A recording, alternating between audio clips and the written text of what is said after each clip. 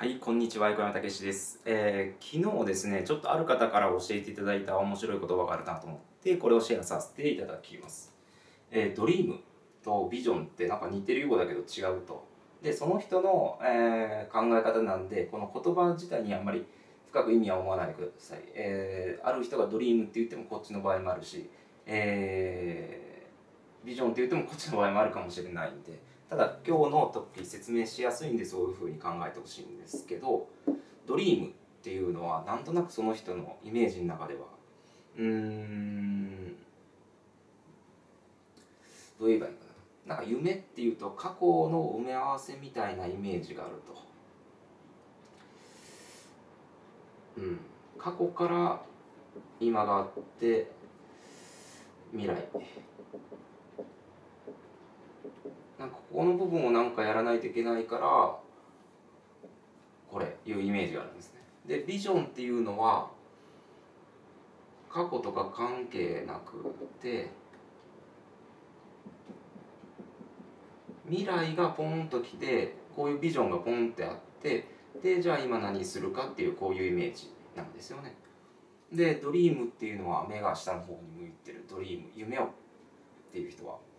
で、えービジョンがある人っていうなんか輝いてるような 目がキラーンって光ってるみたいな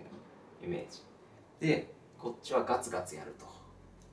もう努力でねどんどんどんどん。でここはもう深くもうビジョンが見えてるんでもう胸にうずきいうかもう明確なものがあってコツコツやっていくと。で理由がある。ここ面白いなと僕思ったんですけど理由があるのとない。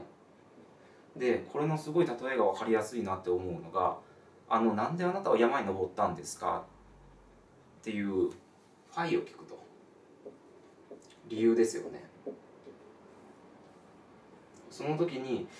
えっとですねいろいろこうそうですね昔いろいろありましてねだからなんだかんだなんだかんだじゃなくてそこに山があるからっていうね。よく意味が分かんないっていう。だから意味が理由がない。理由がないことですよね。そこに山があるから自分は登るだけだというようなその感覚的なものあんまり頭で僕が僕もあったんで分かるんですけどここをなんか理由をいろいろ考えたりそういう左脳っていうのかな使いすぎずにこっちの右脳を使って右脳を使っていうか使うもう使ってない状態ですよね。使ってない状態がもうあそこに山があるからとかあこうなんかもう理由はないけどもとにかくしたいというような直感っていうかそういうものも大切になあのなる部分もあるのかなと思ったんでそっちの方がいろいろうまくもちろんバランスも大切だとは思いますけど、えーきちんとどっちも僕、うん、今思ったんですけどやっぱりどっちも大切ですね。だから、えー自然とこっち行ける人もいればきちんと左脳でバランスよく考える必要もあるとは思うんですけどそういうようななんかこういう行き過ぎてる人はこっちを考えてみるのもありなんじゃないかなと思っております。以上です。ありがとうございます。